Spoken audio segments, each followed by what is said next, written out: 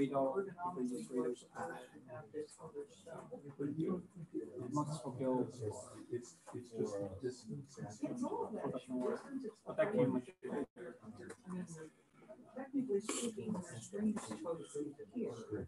So in order to have that happen on the laptop, now what have you done with your keyboard? Well, your keyboard is supposed to actually be slightly lower than than the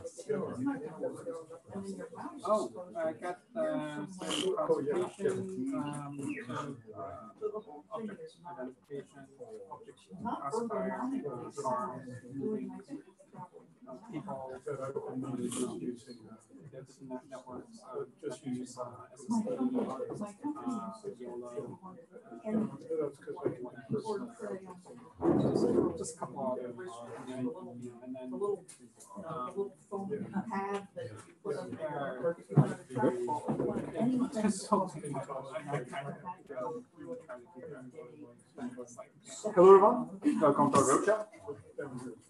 Today we'll talk about data visualization libraries and our speaker, Dr. Sel, will be with us. He's a software engineer and author of uh, Coding Cool Stuff in Python. Coding Cool Stuff in Python. Uh, before we start, I want to talk about our company, Magnimind Academy. We founded in 2015 and we've been teaching data science since 2015. We have three main type of programs, our full stack data science bootcamp, our one-on-one machine learning and uh, data analysis project mentorship bootcamp, and our mini bootcamps. In our uh, full stack data science bootcamp, uh, it's focusing on the theory and the practice, hands-on experience. And at the end of the bootcamp, the aim is to find you industry jobs in data science uh, placements. In our one-on-one machine learning data analysis project mentorship bootcamp, uh, it's for the ones who need guidance and trying to build a portfolio. Uh, and our mini bootcamps where you can learn different subtopics of data science in different modules. Right now, uh, we have our machine learning mini bootcamp that we are accepting applications. It's starting on February 18th. And for four weeks, 12 hours, it's for free. Uh, you can join it online. The on-site participation is full right now. And uh, you can check our website to learn more about our programs. Having said that, I want to announce Dr. Purcell with a round of applause. Thank you.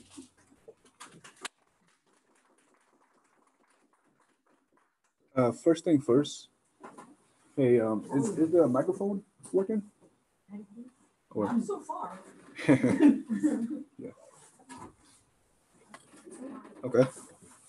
Testing, testing, one, two, three. Okay. All right. So. I'm sorry. Oh, so, uh,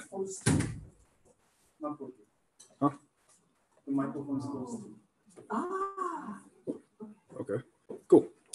Well, hello everyone. Thank you for coming to this event on a Friday evening. And I imagine there's uh you guys could be doing cool stuff on a Friday. So I'll, I'll try my best to make this presentation worth your time. So um, just bear with me. I'm not feeling uh 100%. I'm feeling a little bit under the weather, but I will nevertheless do my best to deliver an interesting presentation for you. all. So why care about data visualization? So for just some high level overview, you can you can analyze various business relationships. So a company can see the quarterly reports that they're and, and they can determine if they're trending upwards or if they're trending downwards. And another benefit is for data storytelling. So with visual analytics, we can discover new insights uh, that help us craft a narrative for the story that we're trying to tell. And you can absorb massive data a lot easier. There was a study that says that humans process data 60 times more quicker than text. So the very first plotting library that we'll go over is Matplotlib. So this is a 2D data visualization library written in Python. Yes. Let's see. Yeah. I,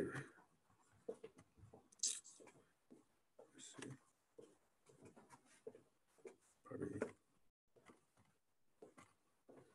Oops. Is that better or?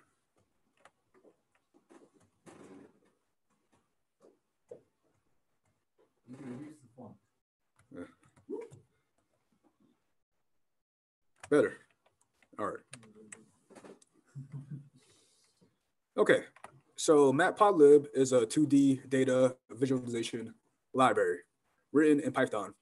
And it was created as an open source derivative to MATLAB.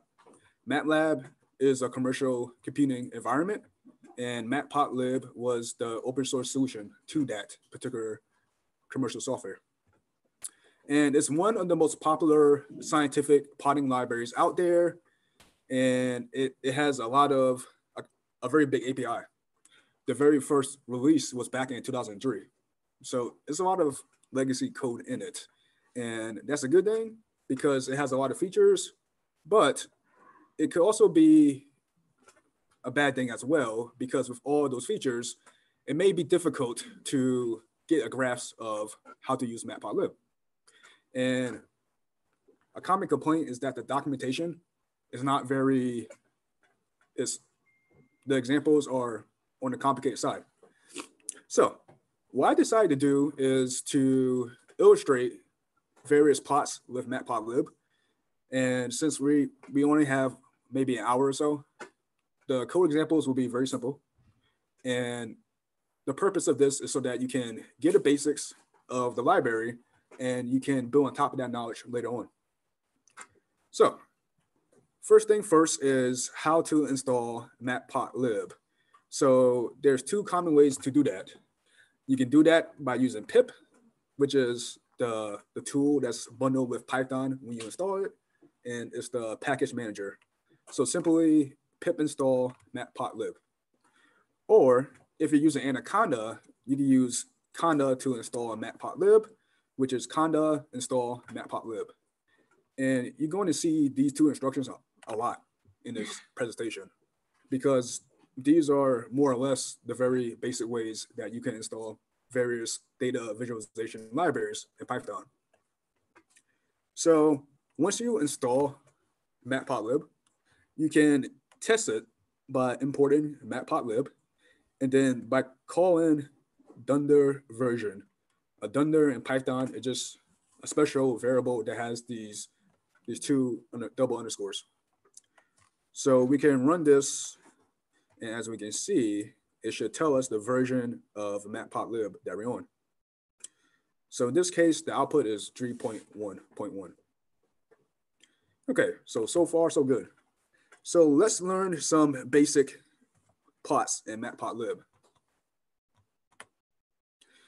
So the very first thing is we can do a simple import matplotlib.pyplot as PLT.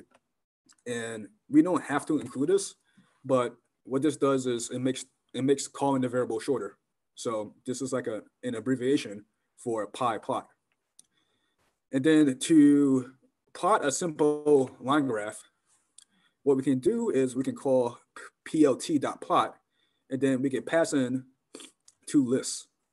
So the first list denotes the x values, and then the second list denotes the y values. Okay. And then when we run the program, we should get this very simple plot. So that's how you create a very simple plot in matplotlib. And yeah. What was that zero X seventeen F A F B so on mean at break? Oh, um, it looks like a it looks like an address. That looks like a you know Okay. Yeah memory address. So It means you just got a bunch of information that if you really needed it, you could know what it was and you don't need that. okay, so that's how you create a very simple line plot in matplotlib. And the thing is, when you you could include pyplot, and this is a there's there's several different modules. You can import matplotlib, and you can import matplotlib.pyplot, or you can import matplotlib.pylab. So matplotlib, this is the toolkit. for Matplot. PyPlot is a module inside of Matplotlib, and it allows you to do an inter allows an interactive way to use Matplotlib. And PyLab is a- the same thing as PyPlot with some extra shortcuts, and it's not recommended to use PyPlot anymore. Which one is not recommended? The- the end there. Which is discouraged? The the PyLab, Final is discouraged. Yeah.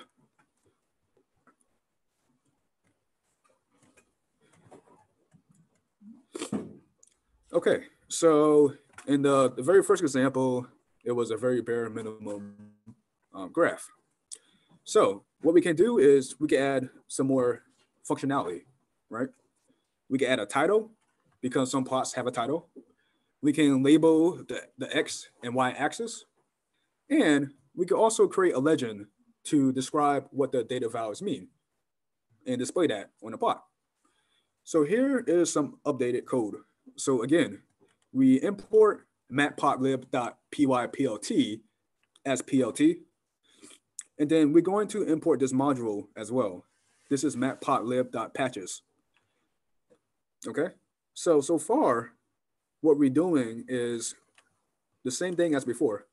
We're just calling plt.plot, which creates the plot. We pass in the two lists to represent the x and y var um, and y uh, portions on the graph. And then what we're doing now is we're going to add the title, the x label, and the y label on the graph. So in this case, to add a title, we do plt.title. And then we simply just pass in a string, which represents the title of the graph. And a similar concept to label the X and Y axes, except we call these functions instead, the dot X label and the dot Y label. And again, we pass in the string that we want to, to display on the graph. And then the very interesting thing about matplotlib is that to create a legend, there's several different ways that you can go about doing that. And some of those ways are not the most uh, obvious ways to do it. There's some there's some issues with using certain methods. So I found this this this strategy pretty straightforward. This is a a module that we can import. And then what we can do is we can call it, and then we can set the color that we want to represent the various items on the legend. And then we can simply pass in what we want to represent for the legend. So when we do this and we plot the graph, we get this result right here. Question? Yeah. Difference between, uh, these, I'm not doing it. PyPlot and patches. Yeah, patches is a is a is a is another module in Matplotlib, and it has the PyPlot is for interactive plots. The patches is for certain type of styling type of options. So in this case, we want to style the legend, and this is something that I researched and found, and it's a pretty straightforward way to create the legend on your plot. There's another way to create the legend. That should be only. There are, but to me, um, the the versions that I found were kind of buggy. There's actually there's actually a built-in function for that, but sometimes it doesn't it doesn't automatically include um, all the data you want. So to me, I found this strategy straightforward, but there there are several different ways on how to do that Yeah. in Matplotlib. So yeah.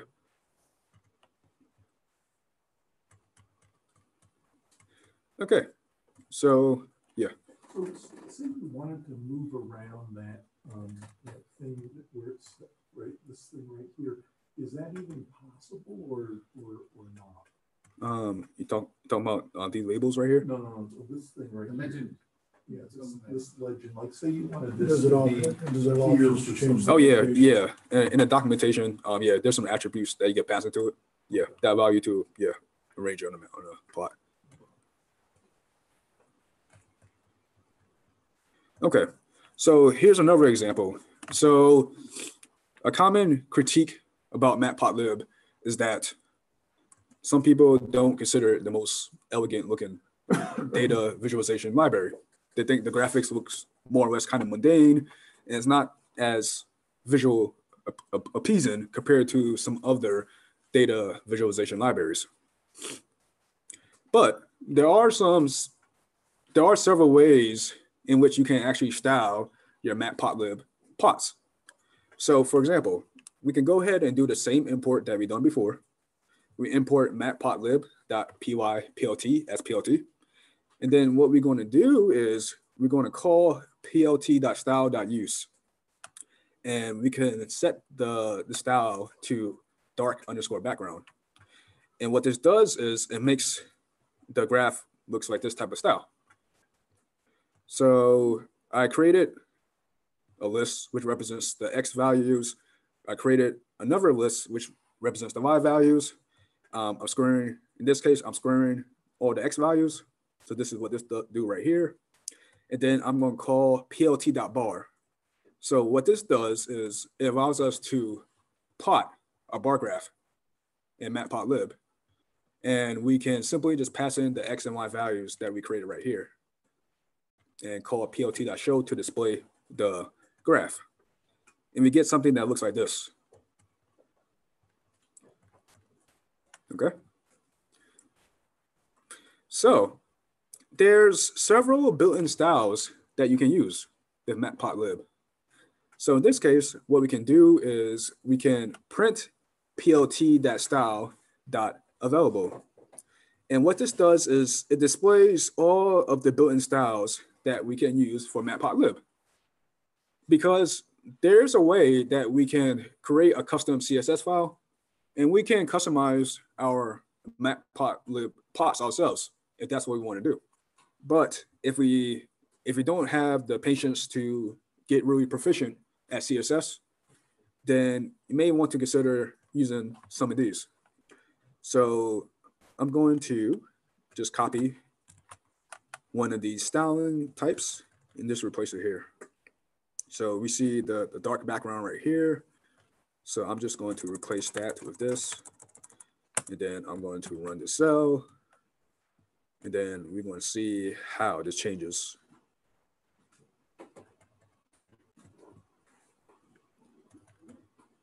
Oh, okay. So uh, that's unexpected. Let's let's try something like this. Let's try ggplot. And let's see what we get. Okay. So that looks pretty pretty nice. Is it ggplot too? Um, I think this is just ggplot, but let's see if we also have a ggplot2 option here. Let's double check. No. No, we don't. Yeah. So as again, we can we can test this. Um, if we don't like the default styling for matplotlib, we can quickly change how the appearance looks. Okay. So how about a scatter plot? So up until this point, we, we should see a pattern, right? With calling these graphs with matplotlib. We import matplotlib.pyplot as plt, and then we call plt dot dot bar or plt dot whatever type of graph that we want to plot. So can anyone provide a guess if we want to plot a scatter graph? What type of what would be the function that we use for that? Exactly. So in this case, what I'm doing is I'm in- introducing a new library called NumPy. And NumPy is a scientific computing library in Python. And to install it, you can simply use pip install NumPy. And the NumPy main data structure is called the ND array, and it's, it's optimized for performance. So compared to a typical list in Python, the ND array will give you better performance. So to plot this scatter graph, I'm going to import matplotlib.pyplot as plt. And then from NumPy, I'm going to import random, which allows us to generate random values. And then in this case, I am going to call random.rn100, So what this does is it generates 100 random random values. And I'm going to do the same thing for the y value as well.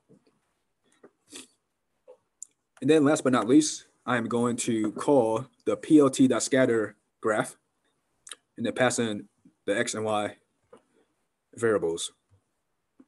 And then when I do that, this is one type of scatter plot that I get. Any questions up until this point? Yes, um, Yeah. what exactly is the PLT dot show bracket do? Because I, I removed that, it, when I run it, it still show the same graph. A plt.show, this right here? What does it redo?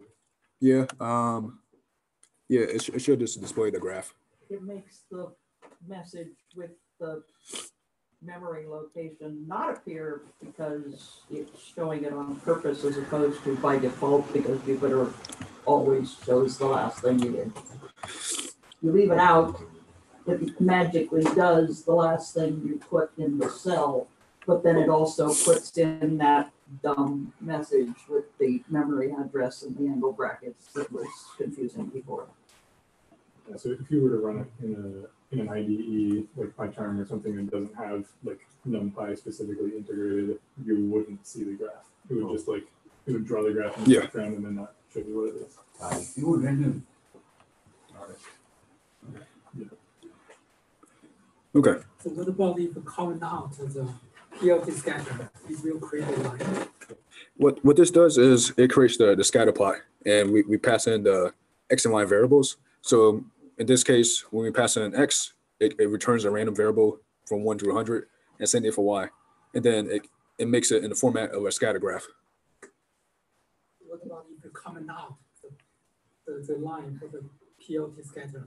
If it comment out, Yeah. it, it won't run because that's, That By default, it will run a line. Um? Actually, it shouldn't. It shouldn't show nothing because we shouldn't. Um, we can test that. Yeah, nothing shows because we're not buying nothing. See. Other way around though, if you comment out the plot dot show, it'll show it, it'll just not as prettily. Cool. No, it's not putting the whole thing in. No, you, you kept the plot dot show. Oh, look, they're red now. Yep.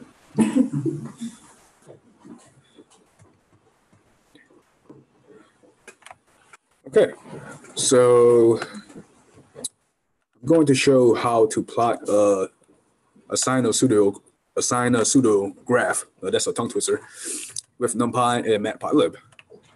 So we can import NumPy as NP, and then we can import matplotlib.pyplot as PLT. So the NumPy and Matplotlib libraries. And then in this case, what, I, what I'm doing right here is I'm setting the default style style back to classic. So that's what this doing right here. And then what I'm doing is I'm going to call np.a range one comma Tony.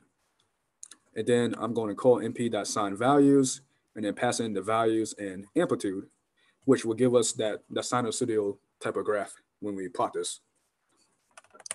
So if I were to run this right here, this is what I'll get.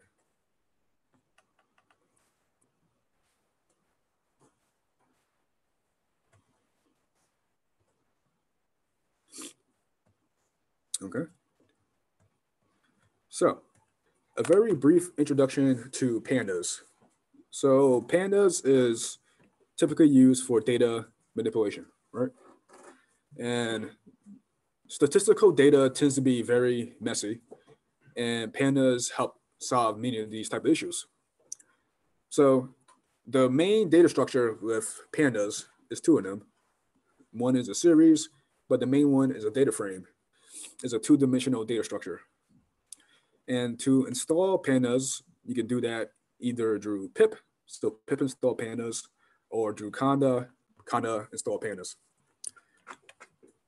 And I, I put I put this uh, this uh, notebook on my GitHub, so I'll make sure to post a link to this after the presentation. But nevertheless, this is just a CSV file. It is it is showing the location of the data set that I'm using. So, so to import pandas, we can do import pandas as PD. And then we also import matplotlib.pyplot as well. And then what we're going to do is we want to read in the CSV file. So to do that, we do pd.read underscore CSV file. So this file is located on my desktop. I'm using Windows. So you can see that I've included this R, which means that this is a raw string. And the raw string means that these backslashes are, are included in the actual URL. So once I read in the CSV file, I can call pd.dataframe and then pass in the file that I read in. And then what this does is it converts that file into a data frame, which is great because we then can call various methods with uh, data frames, with uh, pandas. So for example, if we wanted to just return the very first five rows in, a, in a data frame, we can call pd.dataframe. And my bad. We call we could create a variable such as first underscore five underscore rows, set it equal to the data frame dot head five. And what this does is it returns the very first five rows in the data frame. And a similar process happens if you want to return the last five rows in a, in a data frame. In this case, you call the, the .tail function and you pass in the, the parameter of what numbers you want to retrieve. And there's various functions that you can play with with pandas. I've included some of these in the notebooks. You can get you get various statistics about your data by calling your data frame.info.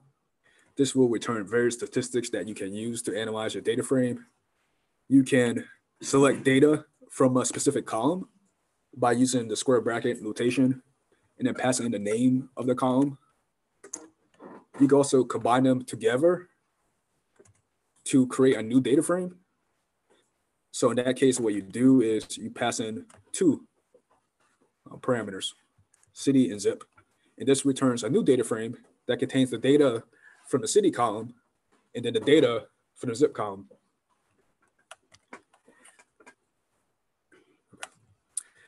Yeah. Can a data frame have more than two dimensions? Um, it's a, it's typically uh yeah it's row is a yeah row times columns. So um, I don't think there's a I don't think so. Yeah. And you go. Can you put your GitHub back up there on the screen? Or do you skip this out? Yeah, sure. Um.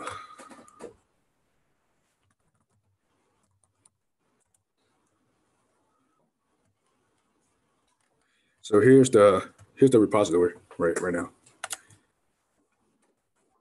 Oops. Let's get that out of the way. There we go. And like I said, I'll, I'll make sure to post the link to this after the presentation too. So.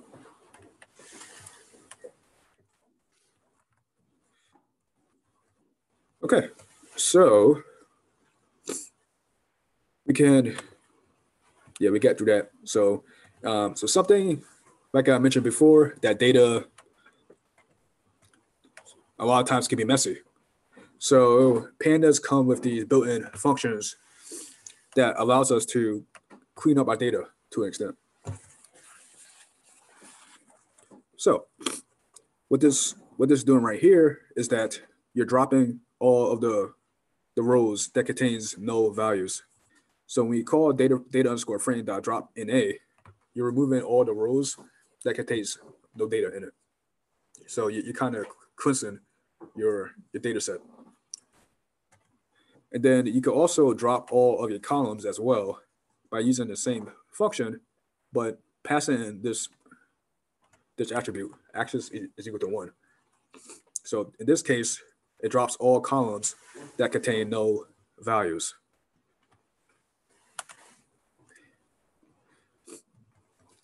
And then there's there's various statistics that you can do. You can call it the mean function. or the max function, the min, the median, etc. And what these does is it returns th- those appropriate data from those columns. So data underscore frame dot mean returns all the columns, returns the mean of all the columns, and the data underscore frame dot max returns the highest value in each column. Oh, yeah. And then once you import the CSV file, what you can do is you can plot it. You can plot the CSV files that you import. And by to do that, you just call the name of the file and and dot plot. And then you pass in the values that you want, X and Y values. So this portion wraps up the the matplotlib uh, tutorial, matplotlib, numpy, and pandas. And actually, actually a couple more graphs. I forgot about those. Okay. So more examples. So to create a pie graph in matplotlib, we go ahead and do the imports. But what we're doing this time is that we're creating two lists. And then what we can do is call plt.pie, pass in the data, and then pass in the labels, and then plt.show. And then that's how you create a pie graph in matplotlib. And then for a histogram, we can, as again, it does more or less the same thing, except we're using different functions. So what we're doing here is that we're we're importing matplotlib, importing numpy, and then we're creating this this array with numpy. And then what we're doing is that we're going to pass in that array into the plt.hist function, which creates the histogram. We're passing in the data that we want. And then we're also passing in the number of bins, which is in this case is 21. And then we could do various formatting options if we want. And then what this plots is this histogram right here.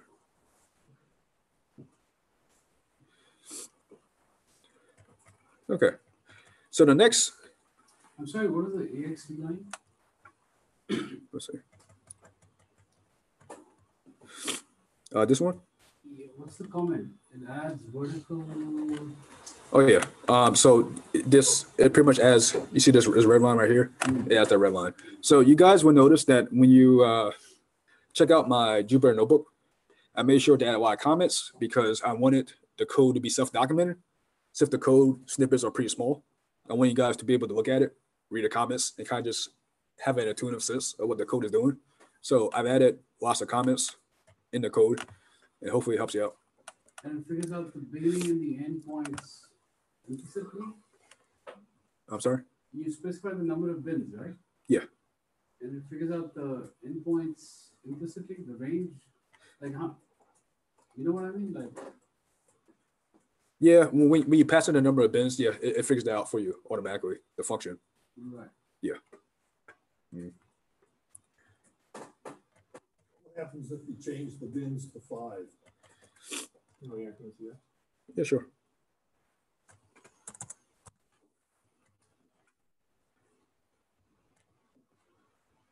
So, so as you can see, the, the intervals are much wider.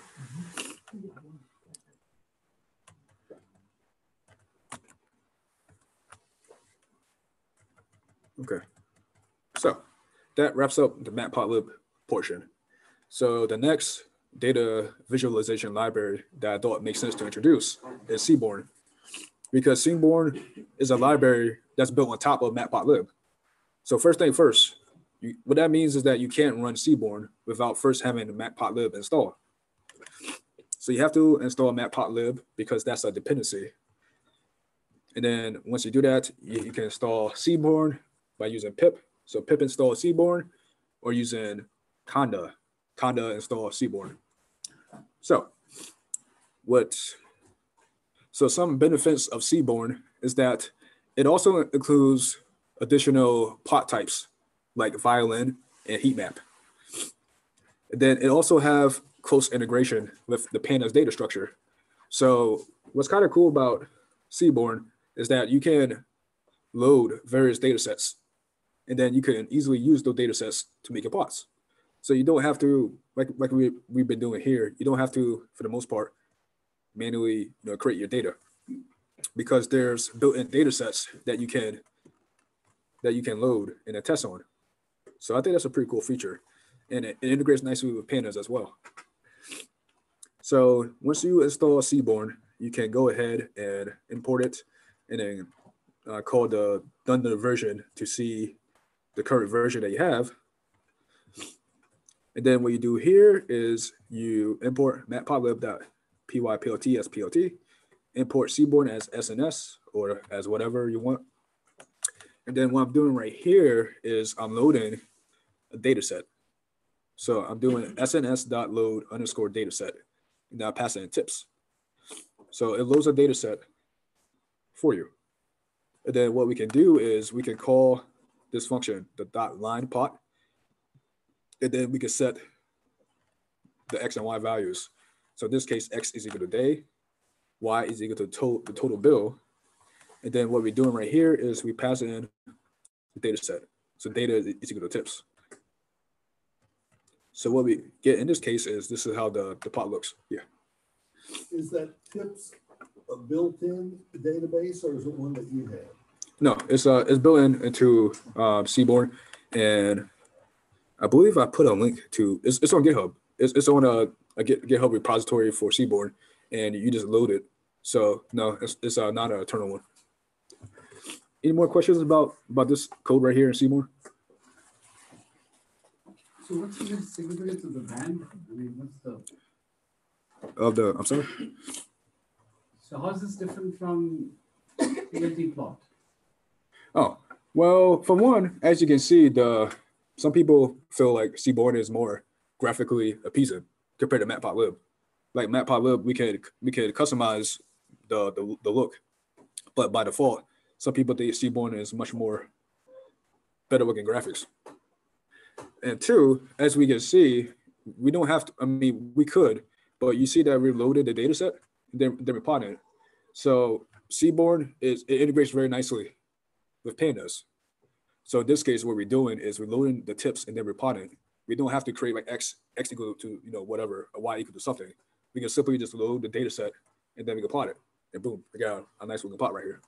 So is that, is that loading into a data frame internally or? Uh, tips, This right here. Yeah. Yeah. Is that a data frame Can you print tips so we can see it? or print type, type of print? tips? I can um yeah, it just yeah. Let me comment.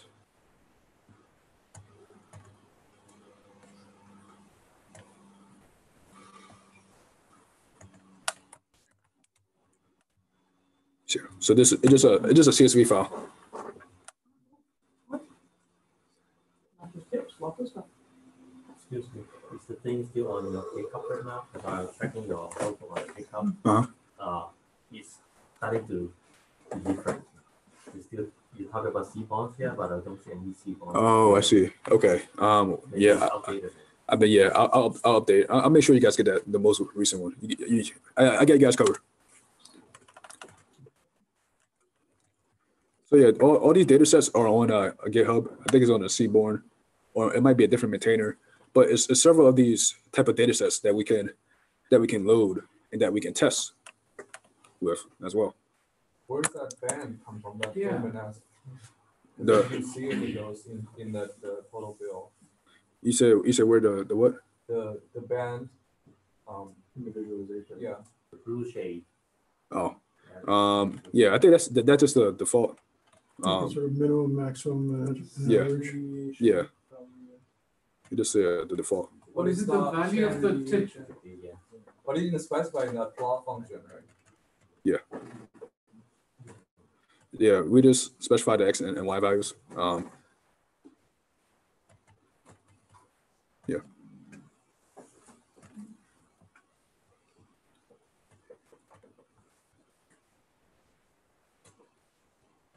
Okay, so in this case, it's more or less the same thing, but what we're going to do is we're going to load a different data set. So in this case, there's a data, a CSV file for car crashes. So it's car underscore crashes. And then instead of doing a line plot, we simply gonna do the bar plot. So SNS dot bar plot, and then we set the X and Y values. And then we're going to set the data equal to the file, which is car underscore crashes. So as we can see right here, we get this bar graph and it looks kind of, it looks kind of busy, right? It's too many, it's too many lines together, right? It's, it's kind of data visualization is supposed to makes, supposed to make it easy for us to kind of look at the data and draw extracts from it. This is not really doing that, right? So that's something else to think about. This is, I guess, more statistics, but certain type of graphs are more better suited for other type of type of tasks. So bar graphs, they're they're great for plotting groups of data, but if you have like you know a lot of range of data, it may not be the best option. So we can simply just try something like scatter plot. And we can see how the graph looks different. So that's that's much more cleaner, right? Compared to the bar graph, which crunched all that data together. The scatter plot gave us a nice distribution. A lot, something a lot more easier to look at. Right? So by the way, that's how you create uh, a scatter plot in uh, Seaborn. Is that question? Or- I just looked it up. Oh. Uh, the thingy is the error bands for a confidence interval. Okay, Cool. So that's just, it, it just does that, cool. but that's what it is. So there's a couple of additional plots in Seaborn that's not available in Matplotlib. So for example, it's this this cool looking plot right here. It's called a violin plot. And what we can do is we can just go ahead and import our our modules, uh, load our data set, and then we call sns.violin plot. And then we set x is equal to tips, square bracket, total bill. So we pass in a column from our data set. And this gives us this type of plot, which is a violin plot. And this type of plot is not available in Matplotlib. So that's something else to think about as well. Depending on what type of data you want to plot, Matplotlib may have that functionality in there, or it may not. It may you may want a specific graph that you want to plot that's not available in Matplotlib. So in that case, Seaborn could be a good alternative as well. Is there any uh, Yeah. function that in Matplotlib but not in Seaborn? Yes, yes, there, there there's a lot of uh excuse me, on the documentation, there's a, a lot of various additional plots that you can go through. It's like um yeah, it's a lot, it's a lot more in Seaborn. As again, Seaborn builds on top of Matplotlib and it has a lot it has a lot more additional functionality. But if you don't know Matplotlib, then learning Seaborn probably be difficult because again, Seaborn is built on top of Matplotlib. So some of that functionality is under the cover. So in my opinion, it makes sense to learn Matplotlib before trying to learn Seaborn because trying to learn it in reverse, you probably probably get confused. Okay, so here's a heat map. So what we're doing right here is we're importing um, the matplotlib library, and then we import Seaborn and NumPy. And then all we're doing is we're calling a dot random rn from one to 10. So give us random numbers from one through 10. And then we're just going to call sns.heatmap and then pass in the random numbers as a parameter. And then this is what we get right here.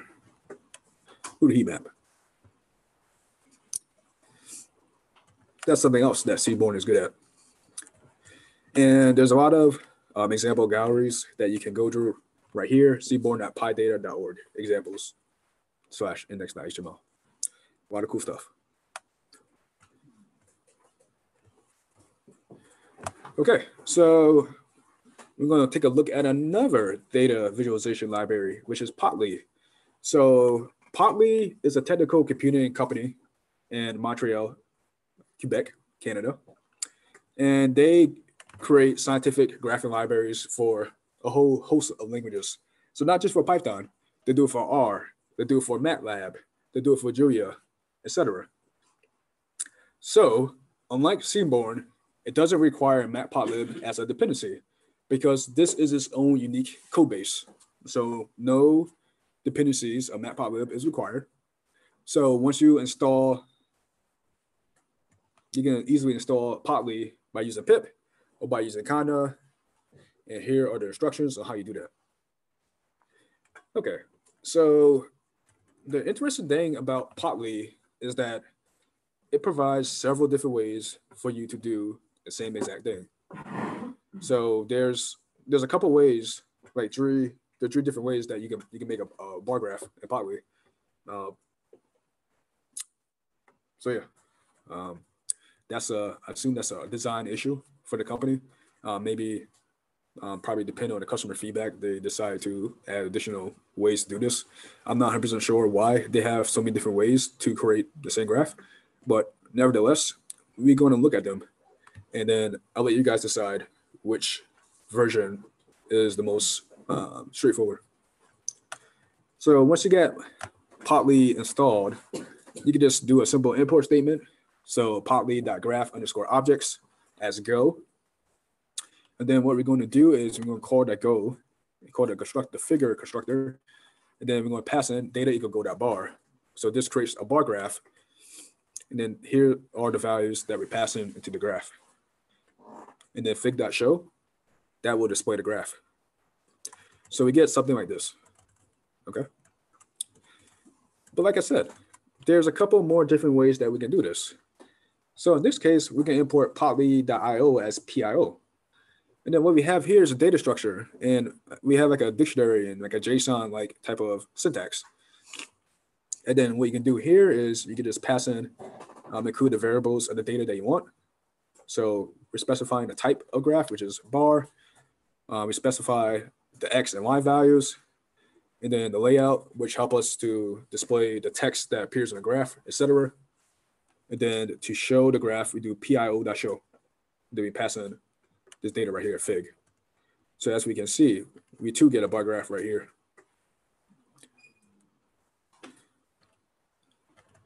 And then last but not least, actually that's the thing. So just out of curiosity, which which version do y'all prefer to create a bar graph with Plotly?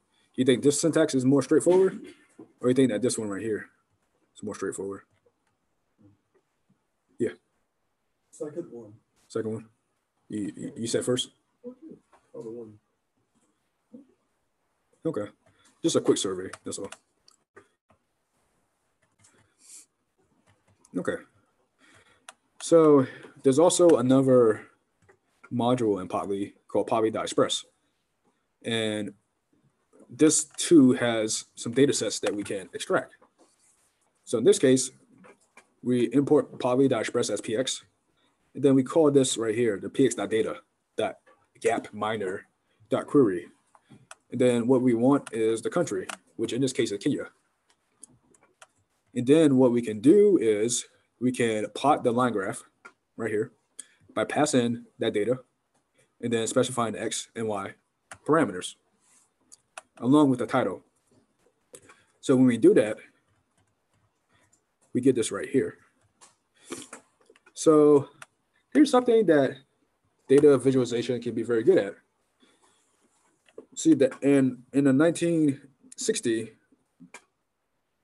the the life expectancy for Kenyans were pretty low, right? And then it, it steadily steadily went up, reached its highs about here, and then had a start had a stark decline in the, in the 2000s, and then slightly trending back up.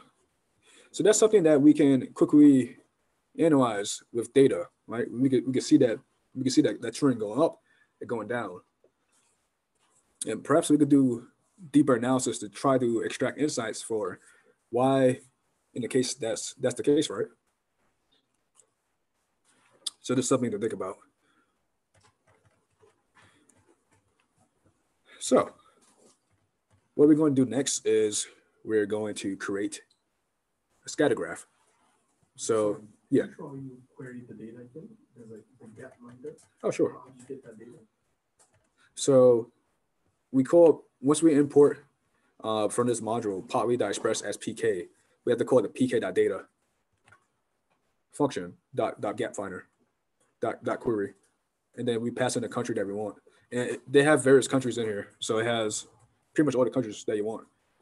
And we, we can we, we can too plot them and see how the life expectancies have changed over over time.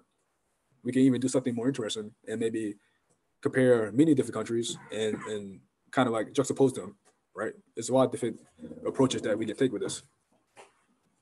But yeah, it, how we get the data is, is this is this snippet, this line of code right here. And you can pass in different countries as well to test it.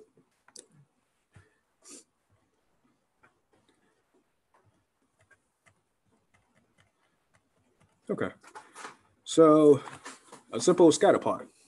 So this is one way that you could create a scatter plot in Plotly. We're going to import the plotly.graph objects as Go. So this is this is the the way that I, I tend to find a little bit more easier to create graphs with Plotly. Using uh, plotly.graph underscore objects. We're going to import NumPy, and then we're going to randomly generate values from one to ten. And then from here, we're going to plot the scatter graph. And then we'll pass in the x values and y values. So what it's doing is passing in x, and then from y, it's raising, it's cubing it. This is what the double asterisk means in Python. And then we're going to update the graph and then pass in the parameters of title, x-axis, and y-axis. And then we plot it, get this nice looking graph like this. So the simple scatter graph.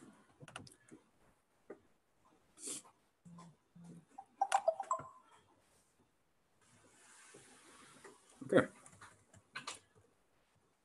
So this is more or less similar stuff that we, I, showed a similar type of plot like this. So I'm just going to move past this.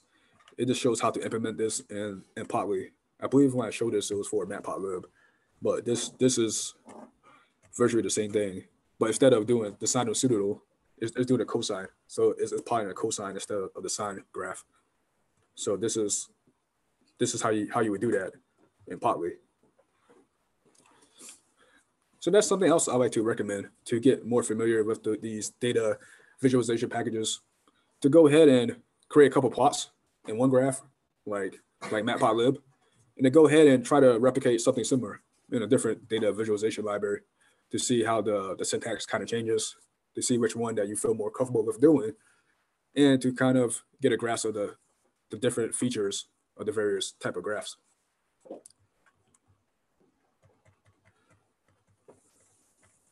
Okay, so a pie graph, right? So we're importing plotly.graph underscore objects as go. We create a label, which is land and water.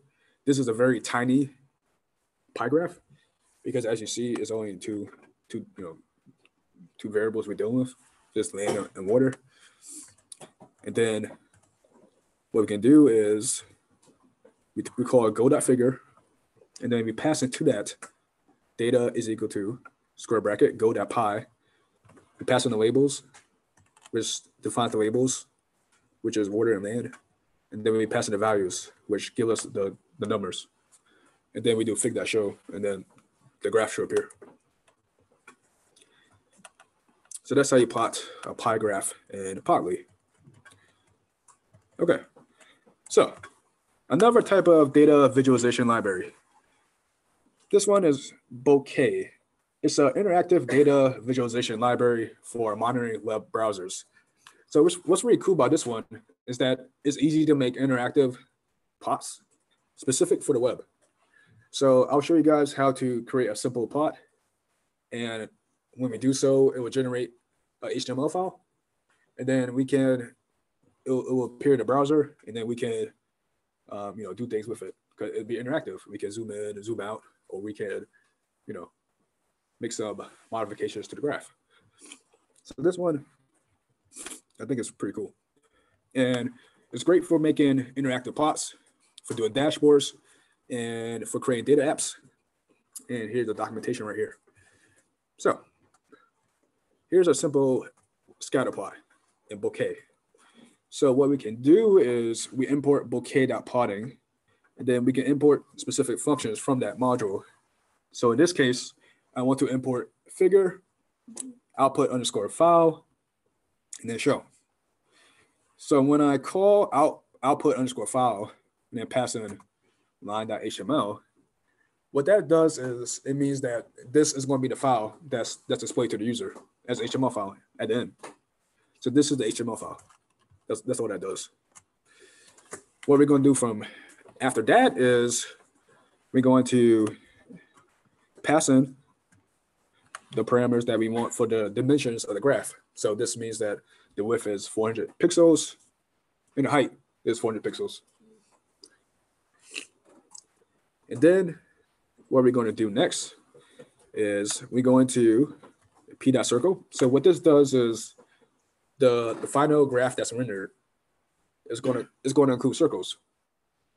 And these are the value, these are the x and y values for these circles. And then we can also modify the size. We can also modify the, the color. And we can also modify the alpha, which is like the uh, the transparency. And then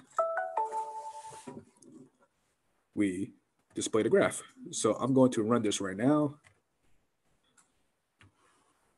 And then as you can see, a new browser pops up.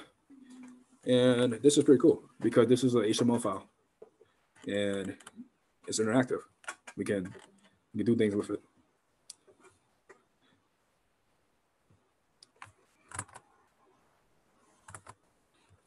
So every time you, you plot these type of graphs, you get that. You get like an HTML output file. Now I need to get back to Jupyter Notebooks. What? That was unexpected. Yeah.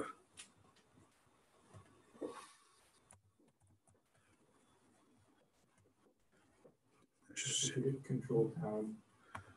uh, Yeah, it was. Let me let me just close some of this stuff. I think it's right here. Gosh, that's so annoying. It's not letting me do that. Uh, control. What? My Jupyter notebook file just disappeared out of, out of blue.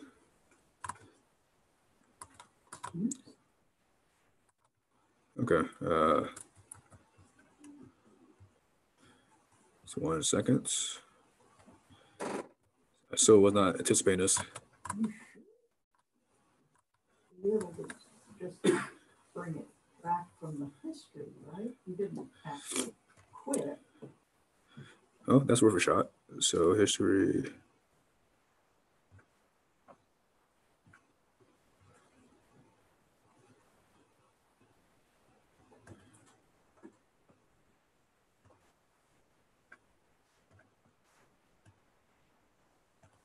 Okay, so what I'm gonna do is I'm gonna I'm gonna, exit out this and just go back to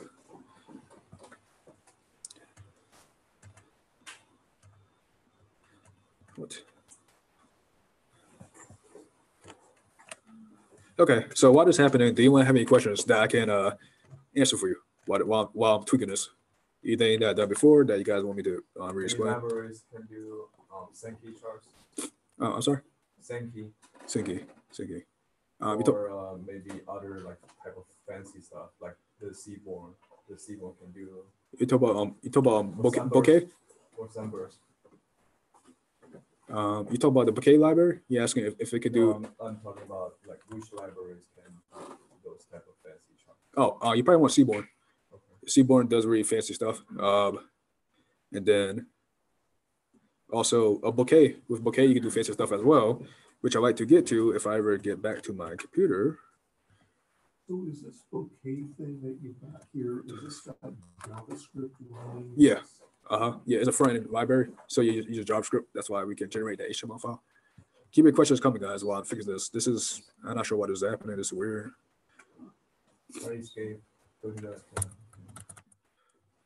think if you go back to the graph and just escape from it, it'll bring you back to it. I can't close it. So It's got me, it got me, it got me trapped here. Not sure what's happening. This is this is weird. I was not anticipating this. Uh, This gosh. is called a live demo. Okay, so you're on Windows. Okay, so um, it's Explorer. yeah. So you can actually bring up Task Manager and kill kill the Explorer if you want to choose to do that. Uh, I believe actually there's actually um,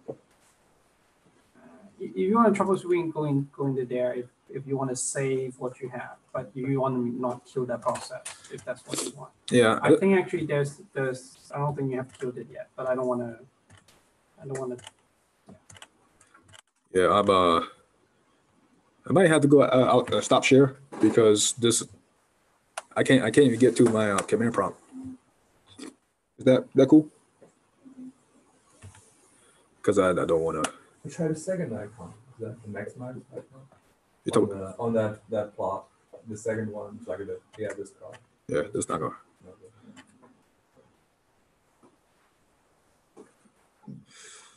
Yeah.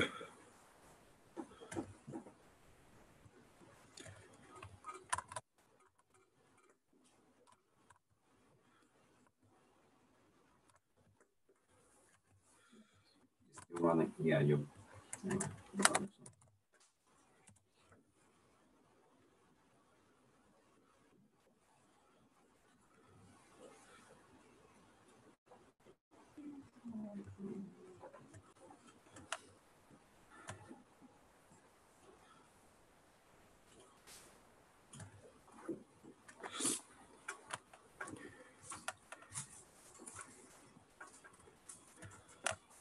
Okay, so I, I will not run Bokeh again, but I'll just go through some of the code. Okay. Um, actually, the live stream, man, I feel bad about doing that. So you stop working on Bokeh then ever? Come on. Well, it, it, just just in this scenario, man, in this specific scenario. Um, okay, um, I wasted too much time. So, okay, um, so yeah, that's how you plot a, a scatter graph and, and Bokeh. And what's kind of cool is that I'm kind of kind of paranoid to run this again, but they have various different type of plots that you can do. So, for example, you do a, a single line graph and what's you can also do a step. So what this does is it creates a graph that has intervals. So when x is one and y is 10, and then x is two and then y is 7.5, it creates like a, a little conti- continuous interval in between the last two variables. So I want to show you guys this, but um, I don't think it's a good idea. So um, you just got to Okay. Yeah, probably not. But it, it, it shows you these these various plots. Like I said, that you can you can plot these line intervals, and you probably have to see it though in order to know what I'm talking about. So I'm gonna give this a shot. Let me see what happens. So yeah, this is what I'm talking about right here. It has this type of uh output.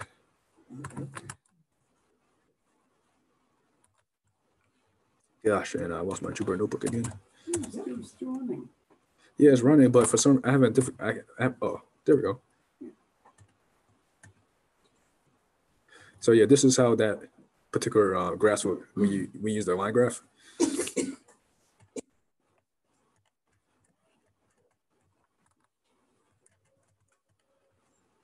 Uh, Gosh, So just hitting escape, wasn't it? uh, what's that? If you hit escape, that's not gonna. Yeah, it won't let me escape.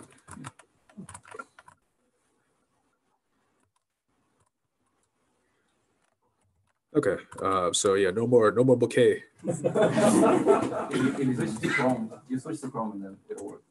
What, what does the colorful Oh, circle thing do? um, let's see. Oh, I'll get back to your question once I get pull that Jupyter notebook. It goes to the Bokeh documentation.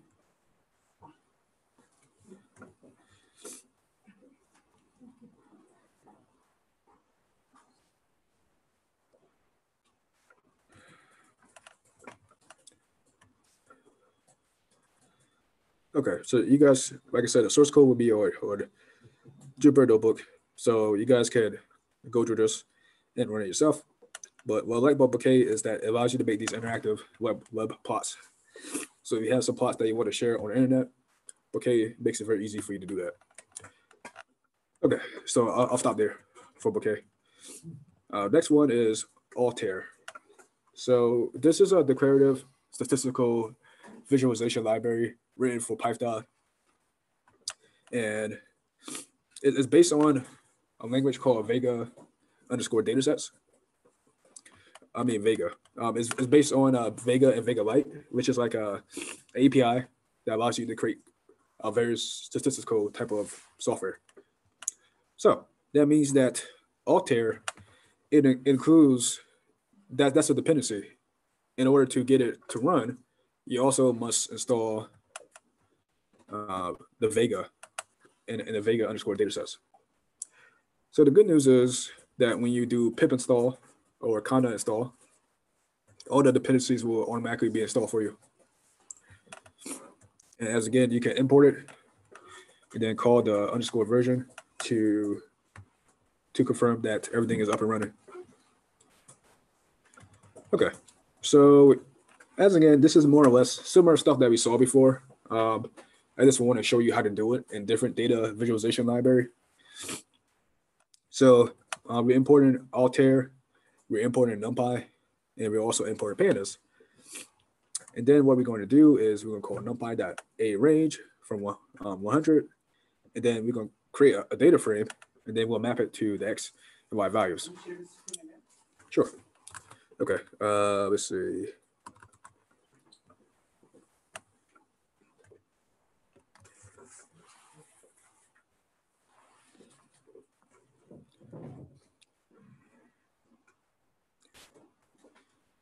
Is it good? Oh. Is it is it fine? Okay, cool. Okay. So what we're doing here is we just uh, creating the x and y values, and then we're gonna we're gonna plot it by using the dot by using chart, and then we're gonna pass in the source, which is the data frame that we, which is the dictionary that we created, that has the x and y mappings. Thank you. And then when we run this, this is how the um, this is what we get. So this in this case, a, a sinusoidal graph. Um, syntax is a lot different, I'll say, compared to Matplotlib or the other libraries. It's, it has nice looking output. I think the graphics look pretty clean and sleek as well.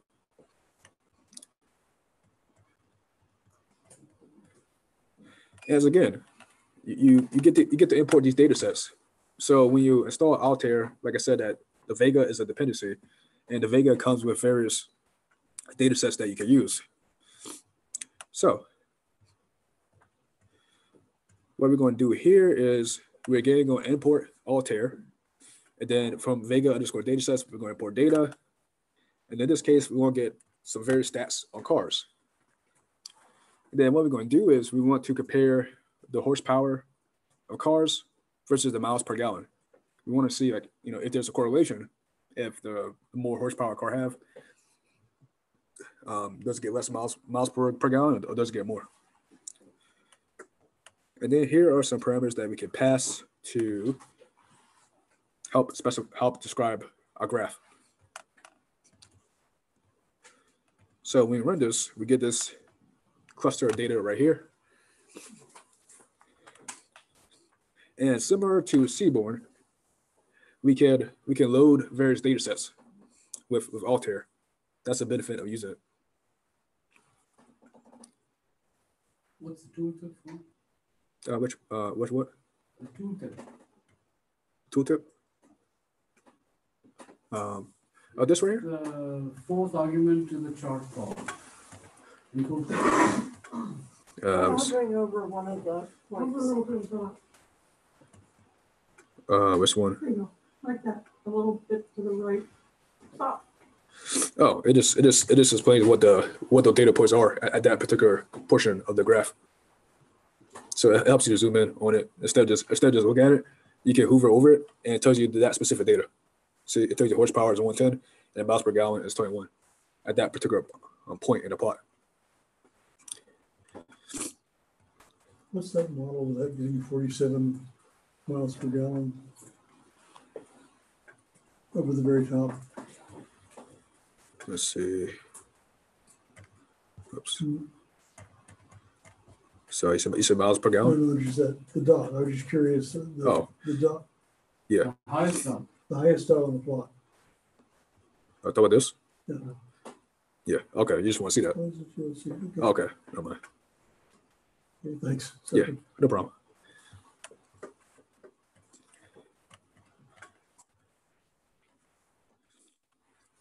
Okay, so another graph, a bar graph. So as again, we, we do our import statements. We need Altair, we need the data sets. Then what we want is we want we want to do various statistics on, on, on wheat. So we're calling this various data set. That's what that does.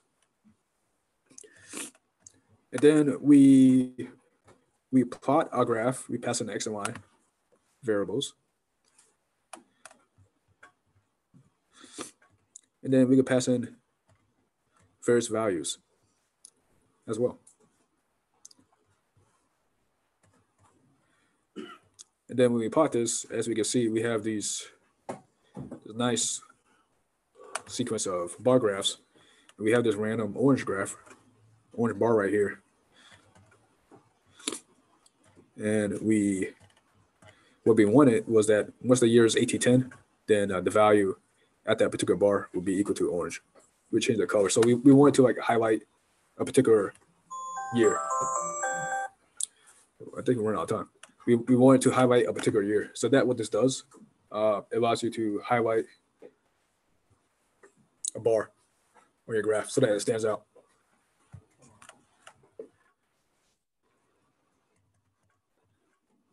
Okay. Um, so that wraps up this uh, workshop. Hope you guys learned a lot of different data visualization libraries. And uh, I guess I'll pass it back to you guys if you, uh, so that for questions.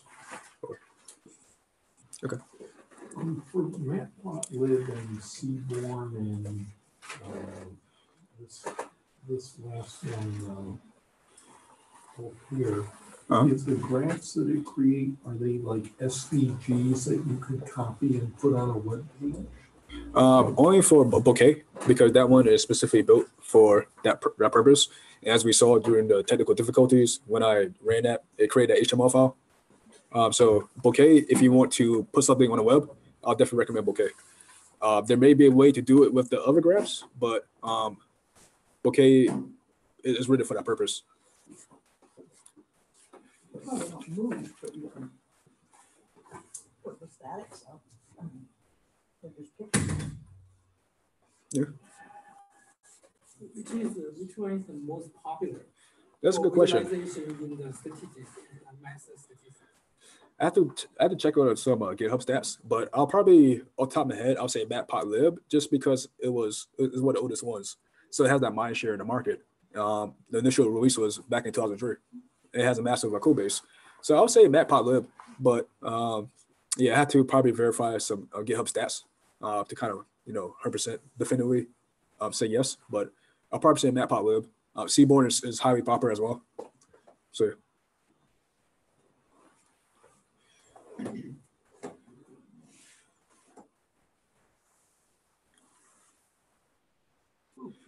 Any more? Better. Oh, thank you. Thank you. Cool. Hope you guys learned something. And uh, thank you guys for showing up on Friday.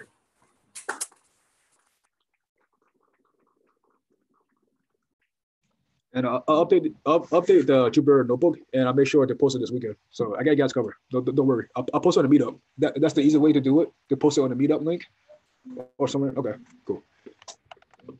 Yep. Huh?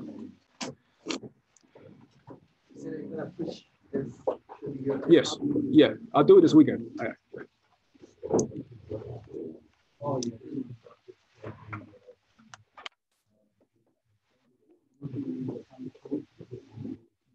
Yeah.